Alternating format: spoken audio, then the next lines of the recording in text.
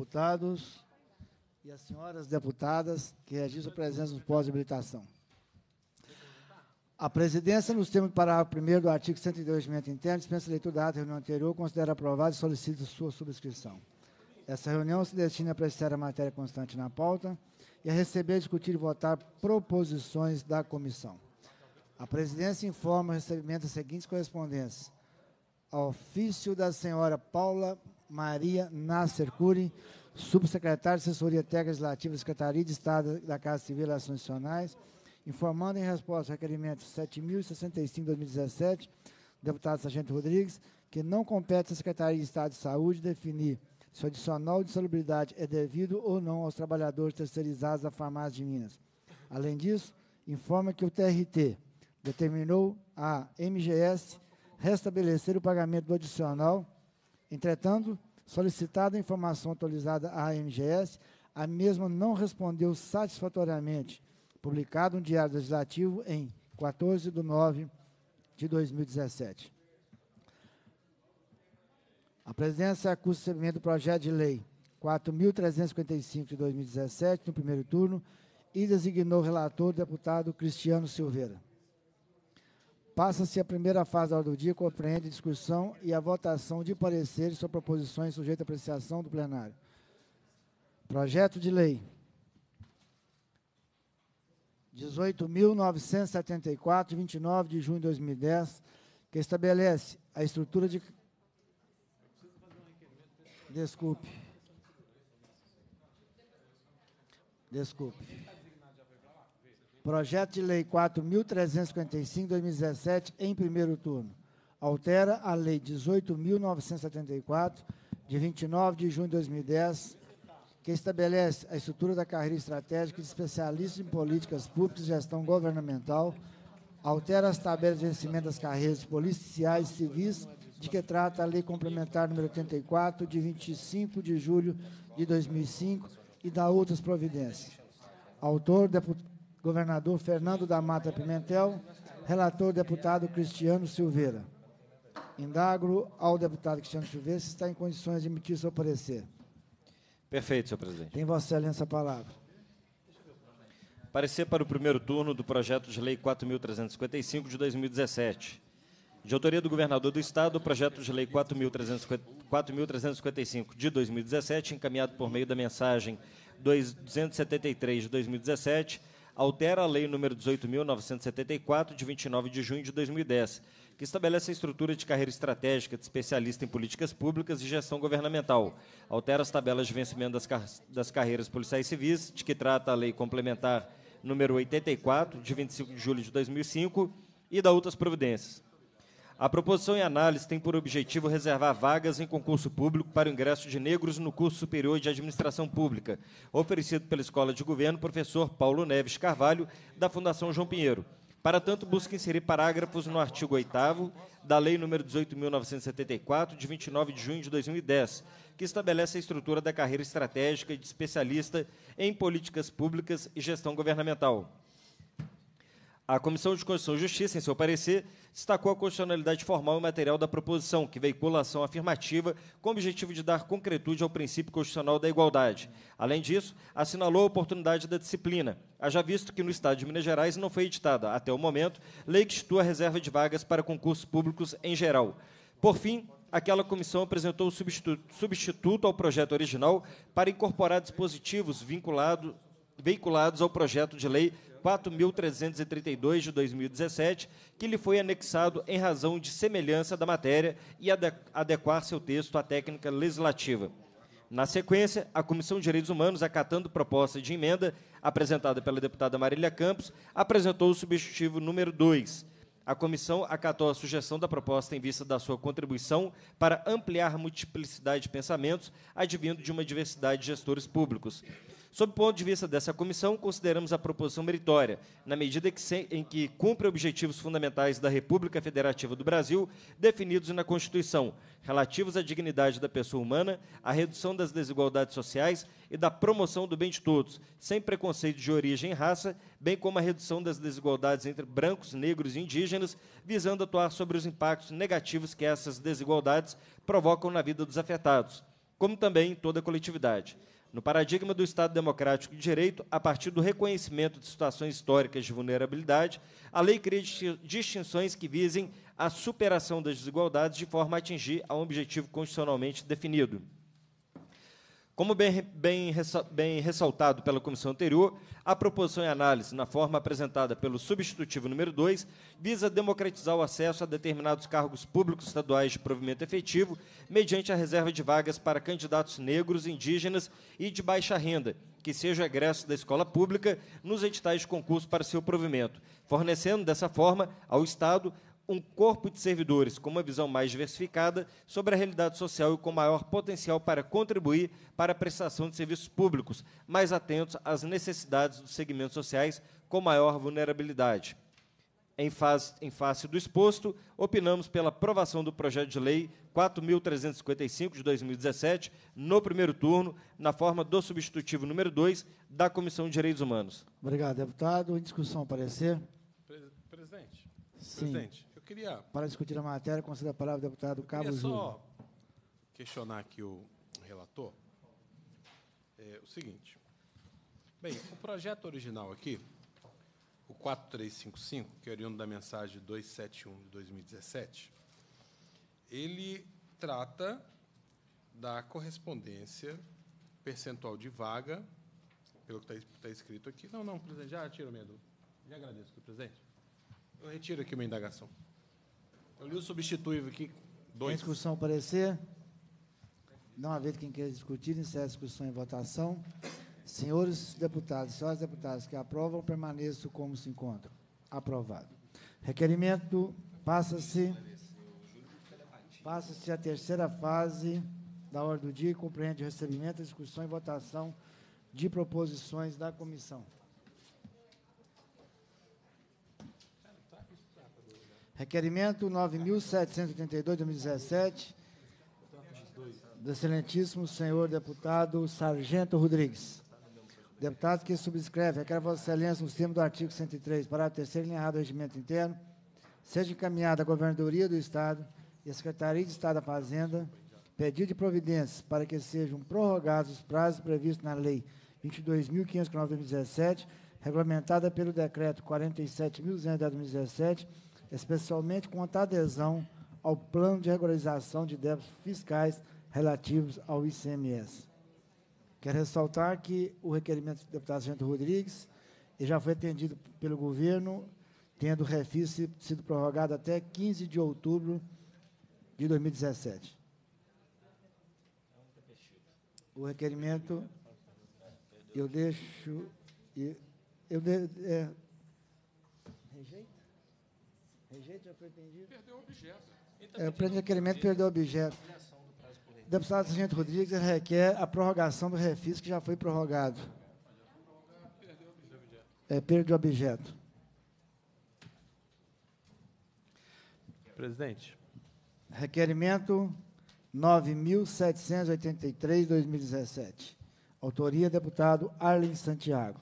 Deputado que subscreve, quero Vossa Excelência, nos termos do artigo 233, parágrafo 12 do Regimento Interno, seja encaminhado ao diretor-presidente do Banco de Desenvolvimento de Minas Gerais pedido de informações sobre o porquê não estão sendo pagos empréstimos autorizados para os municípios do norte de Minas. Em votação. Requerimento, senhores deputados que aprovam, permaneçam como se encontram. Aprovado.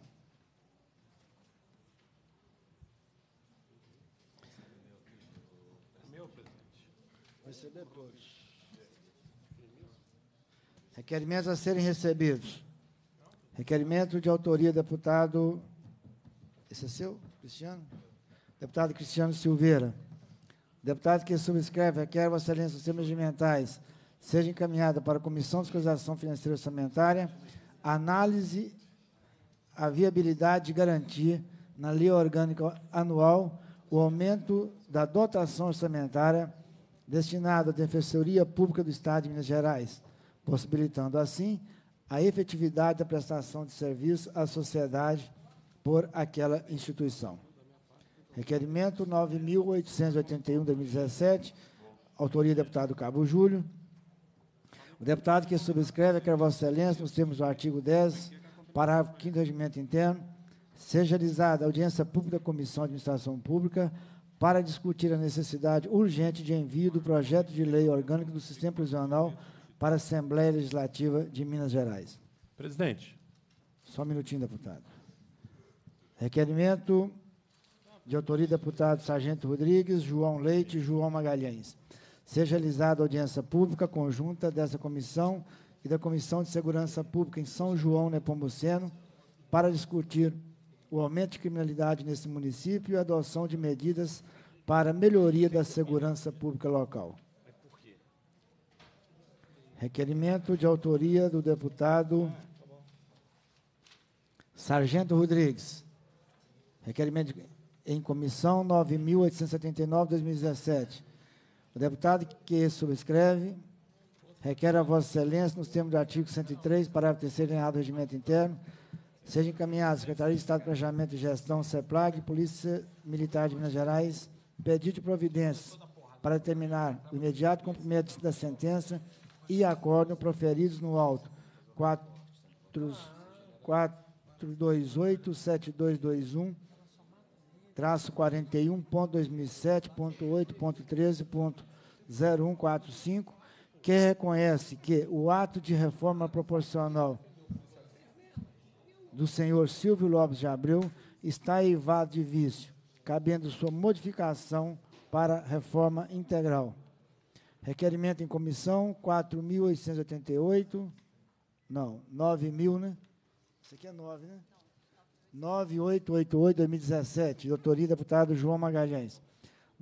Deputado que subscreve, requer, nos termos do artigo 103, parágrafo 3 linha C, do regimento interno, seja formulado voto de congratulações com o vereador senhor Rodrigo Júlio dos Santos pelo brilhante desempenho que vem sendo marca predominante em sua atuação como componente da Câmara Municipal da progressista cidade de Manhuaçu. Cabo Júlio tem a palavra. Presidente, é, eu fiz um requerimento aqui a Vossa Excelência e queria dizer o seguinte. É, Vossa Excelência tem acompanhado, Vossas Excelências aqui do, de toda a comissão têm acompanhado a mobilização dos agentes prisionais, que são a única força de segurança do Estado que não tem uma lei que regule, é, que regule o seu funcionamento, a chamada lei orgânica. A Polícia Militar tem seu estatuto, a Polícia Civil, Polícia Militar e Bombeiro tem sua o seu estatuto pessoal, a Polícia Civil tem a lei orgânica, e o sistema prisional não tem até hoje lei orgânica. Essa lei orgânica está sendo debatido em âmbito da CEPLAG.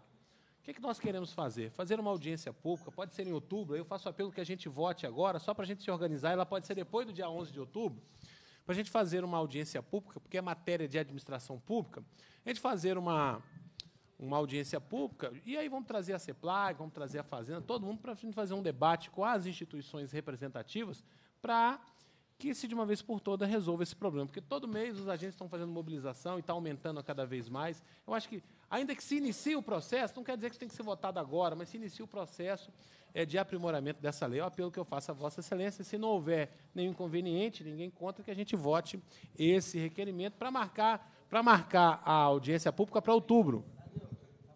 Toninho, só para bobagem. Presidente. Secretário. Presidente. Palavra do deputado Sargento Rodrigues. Eu também tenho um requerimento para apresentar. Tem Vossa Excelência a palavra.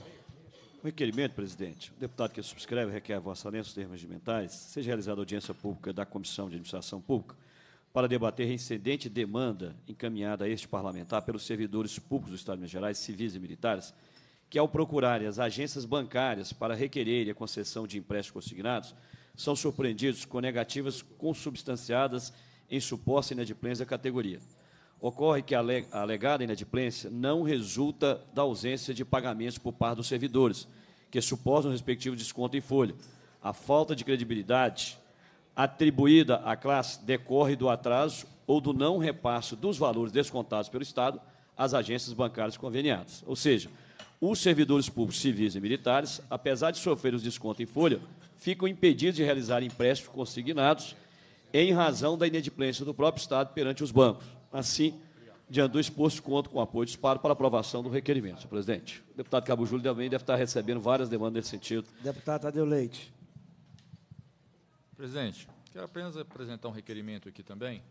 É, pedir, é, de forma muito breve, mas tive acesso nessa última semana, a revista Etsoé publicou uma pesquisa é, encomendada pelo Conselho Nacional do Ministério Público, que traz a Defensoria Público, Pública do Brasil, mas aqui eu quero referir a Minas Gerais, como a instituição mais importante, de acordo com 92,4% dos brasileiros. Então, de fato, nós sabemos a importância dos defensores no Estado de Minas Gerais, principalmente eu e aí outros parlamentares que atuamos ali no norte de Minas, nós sabemos a dificuldade que, obviamente, é, é, nós encontramos lá é, em comarcas ainda que não possuem defensores públicos. Obviamente que os defensores vêm ganhando cada vez mais força, notoriedade e prestígio, principalmente também neste governo, mas é importante nós referendarmos cada vez mais, nós demonstrarmos o apoio a essa classe cada vez mais, principalmente porque discute, trabalha é, diretamente com o menos favorecido do nosso Estado de Minas Gerais. Então, eu quero apenas, de forma muito breve, eh, colocar aqui para apreciação de Vossa Excelência um requerimento eh, que seja formulado um voto de congratulações para a Defensoria Pública do Estado de Minas Gerais, dando não só os importantes serviços prestados que eles fazem para o Estado de Minas Gerais, mas também levando em conta essa pesquisa que 92% dos brasileiros reconhecem como instituição mais importante. Esse é o meu requerimento, presidente. Por solicitação do deputado Cabo Júlio, deputado Sargento Rodrigues, para que sejam votados os requerimentos hoje recebidos. Há consenso para votação? Havendo consenso, vamos votar. Tadeu? Com exceção do Tadeuzinho, tudo votar requerimento de Tadeu Leite. Com exceção do Tadeuzinho, o resto está consenso. Tem me abandonado muito a Comissão de Segurança Pública lá.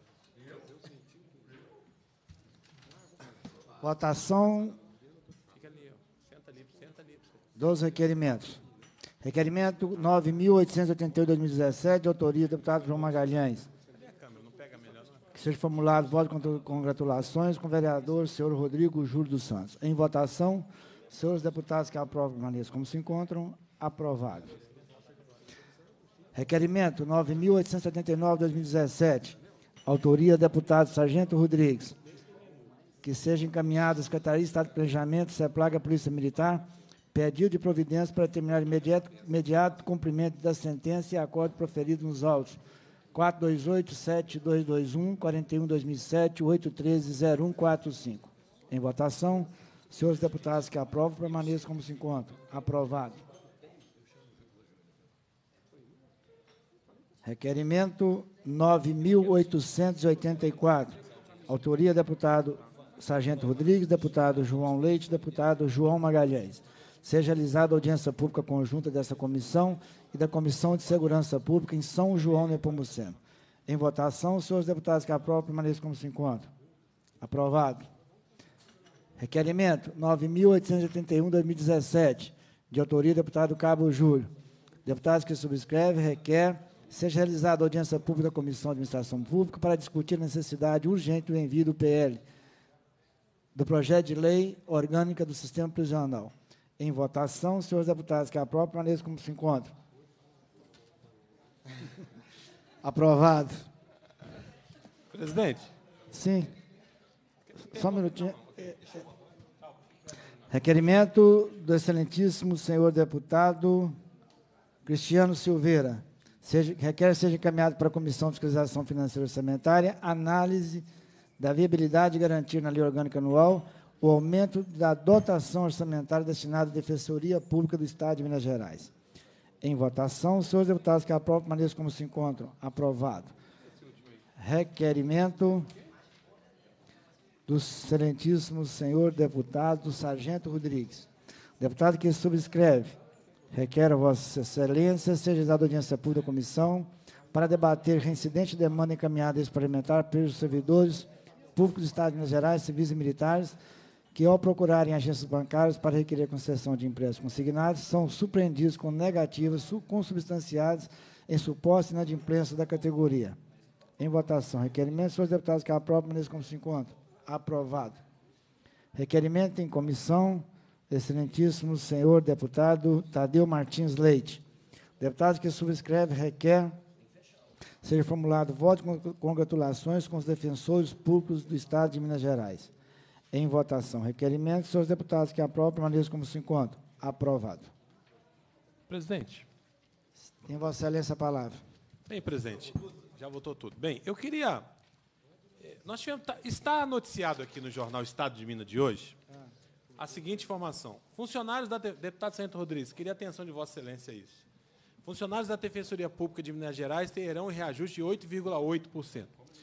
Esse é um aumento para É, Não terão, não. Eles mandaram um projeto de lei, chegou ontem, já foi distribuído para a CCJ, com pedido de aumento de de, de 8, alguma coisa, 8,8. é, 8,8%. O que eu queria entender o seguinte: o Estado diz que está numa merda que faz gosto. Me permitam a- a- a- o desabafo desse, dessa fala bem feia.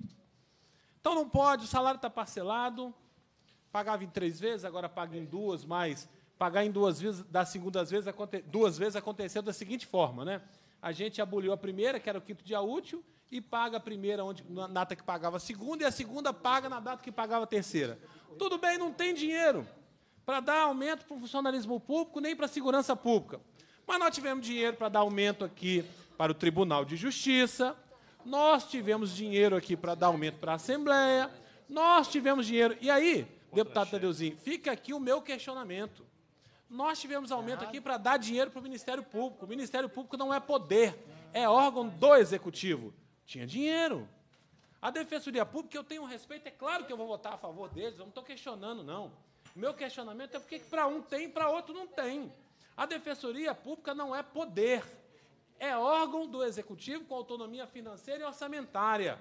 Tá certo? Mas o que acontece aqui em setembro, quem falou autonomia no meu verso aqui, é que quando chega setembro, os chefes de poderes e os chefes desses órgãos vêm aqui para a Assembleia ou vão conversar, porque o dinheiro já acabou em setembro pedindo suplementação. Eu, quero, eu queria saber que dia que nós vamos votar aqui o aumento do funcionalismo. Que dia que nós vamos votar aqui o aumento das polícias. Porque a gente tem dinheiro para aumentar para todo mundo. São certas coisas que não dá. Ou a gente aperta, deputado Tadeuzinho, o cinto para todo mundo, e aí a gente divide a pobreza com todo mundo, ou a gente, para alguns, a gente faz a correção que é justa, é justa dar a correção, mas por que que para alguns não? Então, acho que o Estado ou precisa tomar uma posição, porque fica deixando, mandando para cá, quando que a Assembleia vai votar constitucionalismo? Nunca! Mas por que para uns tem e para outros não? E na hora que nós votamos aumento aqui, para alguns órgãos e poderes, onde o salário médio é 15 mil reais, onde 10% significa 1.500 reais de aumento. Então, acho que a gente precisa definir que papel que a gente quer ter. Então, fica aqui o meu questionamento, dizendo quando é que o governo do Estado chamará os policiais para negociar salário. Essa negociação era para acontecer em junho. Nós já estamos em setembro, entrando em outubro. Agora, para outros, a gente faz sempre a gentileza com o chapéu à lei. É lamentável isso, presidente. Deputado Carlos Presidente. Júlio, só não me falha a memória, eu acho que a, a Defensoria Pública tem autonomia administrativa e financeira. Só que. Só que foi votado há alguns meses no Congresso Nacional o, a PEC do teto de gastos.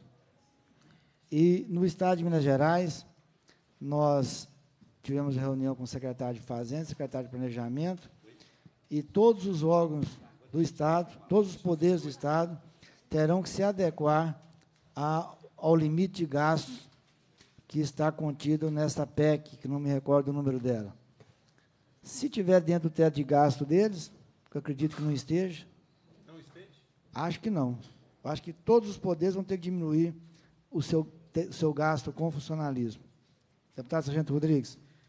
Presidente, é todos os poderes, mas enquanto isso, a Assembleia teve revisão geral anual, 2015, 2016, 2017. O Ministério Público, 2015, 2016, 2017. O Tribunal de Contas, o Tribunal de Justiça e agora a Defensoria Pública. Olha, deputado João Magalhães, estou chegando à situação que se não tem dinheiro para pagar em dia 157 mil servidores públicos, não pode ter também dinheiro para o restante. Nós estamos caminhando, por mais que a gente fale, igual eu vi o líder do Val antes, falar, ah, mas tem autonomia. Tem. Tem autonomia financeira, administrativa, tem tudo. Mas o dinheiro sai de um único lugar. O dinheiro sai de um único lugar. Então nós estamos com um ano e nove meses de parcelamento de 157 mil servidores públicos. As pessoas não têm noção como é que é o sofrimento de entrar num cheque especial, num cartão de crédito, a bola de neve o, o, e o consignado. O que os bancos estão fazendo aqui agora? Nós aprovamos o requerimento, presidente. O governo desconta do contra-cheque do servidor público civil e militar. Desconta o empréstimo consignado. Não repassa para os bancos. Aí outros chegam pedindo empréstimo e não consegue. Então, e por que estão pedindo empréstimo? Porque estão com salário parcelados. Nós já vamos para a terceira data base nesse governo, 1 de outubro. A Lei 19.973, seu artigo 7, fala que a data base dos servidores da Defesa Social é 1 de outubro. Governo inerte, calado, não fala nada.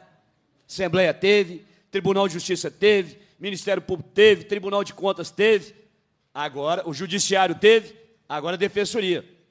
Enquanto isso, 157 mil servidores amargam o parcelamento em um ano e nove meses. E vai para a terceira database sem nenhum aceno do governo do Estado. Então, nós temos que repensar. Chega. Chega. Eu disse para o presidente. Sabe por quê, deputado João Magalhães? Quando a defensoria pede o executivo para mandar o projeto de lei aqui, quem vai aprovar? São os defensores públicos? É o MP, o judiciário? É o executivo? Não. Para dar reajuste aos servidores e aos defensores, tem que ser aprovado por nós, deputados estaduais. Então a responsabilidade também é nossa.